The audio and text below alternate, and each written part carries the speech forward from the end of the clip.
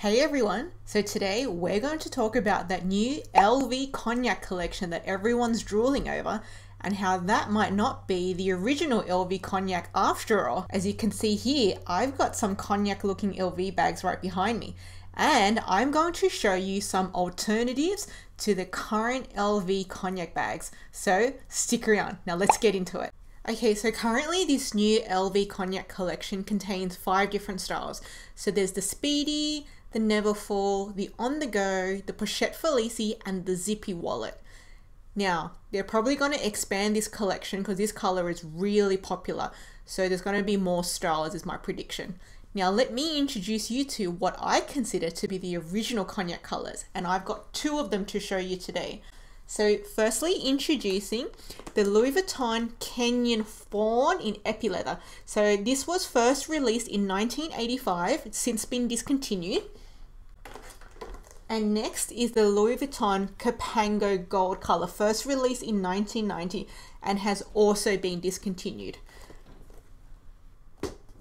Now, if we look at them side by side, you can see they are slightly different, but they both have that quintessential caramel brown color. So the Kenyan Fawn has a little bit more reddish undertones and the Cipango Gold has a little bit more yellowish undertones. Now, if we compare them to the cognac color, so we can see both the Kenyan Fawn and the Cognac both have reddish undertones compared to the Cipango Gold, which has the yellow undertone. Now, all three of them are paired with gold hardware. The Cognac and the Kenyan Fawn are usually paired with a brown coloured stitching, whereas the Cipango Gold has the yellow thread stitching.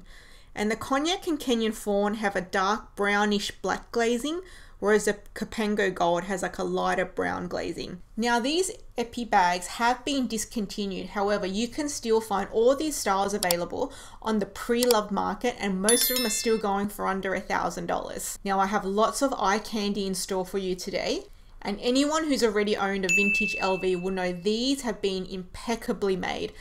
Going from 1980s to 1990s and still going strong in 2022, what more can you say about the quality of these bags? Okay, so starting off with the Speedy.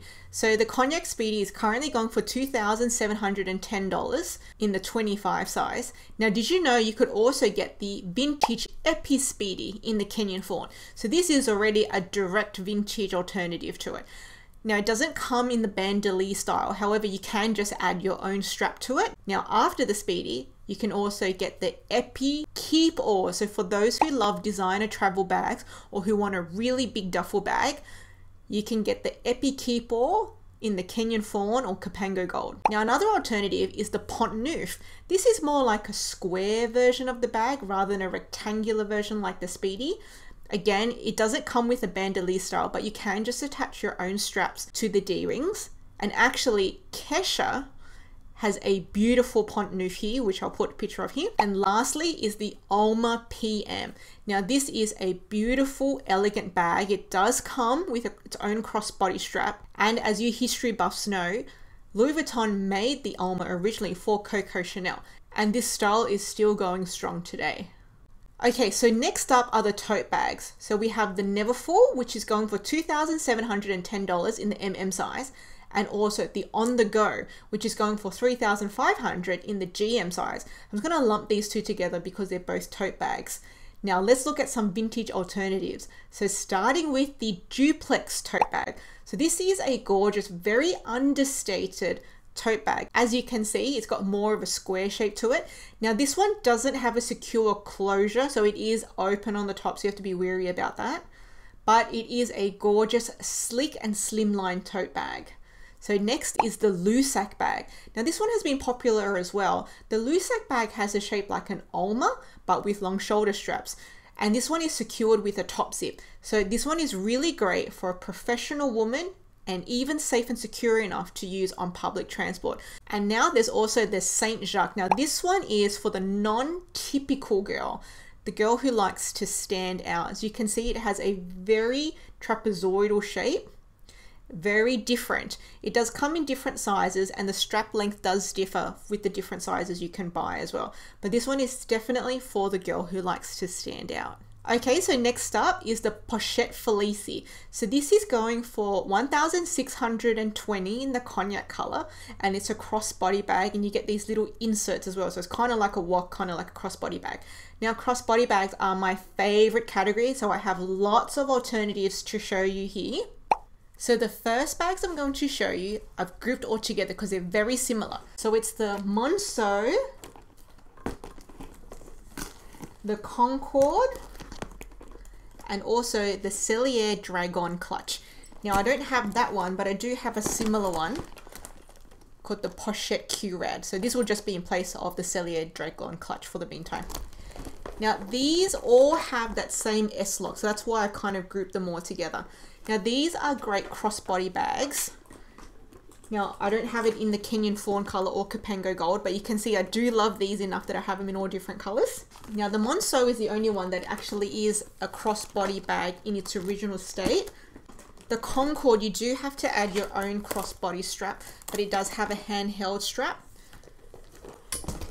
And the Sellier, or the Pochette Curad, which has nearly the same construction, is just a clutch. Now these, you can either do what I did, and you can punch holes into the back there so you can add D-rings, so that you can add your own crossbody strap. Or if you don't want to do that, what you can do is either loop a strap around. So you can loop a strap around. So you can just attach the strap to itself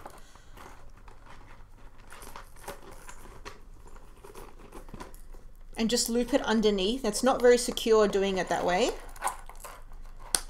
But if you have the bag closed, it's okay. Or alternatively, you can make it a little bit more secure.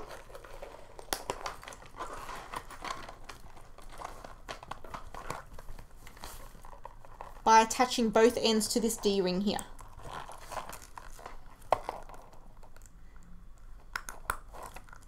It's not totally secure that way, but it is a little bit more better than just simply looping it underneath. Now the next alternative is my vintage pochette accessoire old model. So you can see here the Kenyan fawn is a beautiful color and it makes for a great crossbody bag too. So if you're after like a really small bag, then this would be a great alternative. Whereas the Monceau and alike are more better alternatives if you wanted a bigger crossbody bag.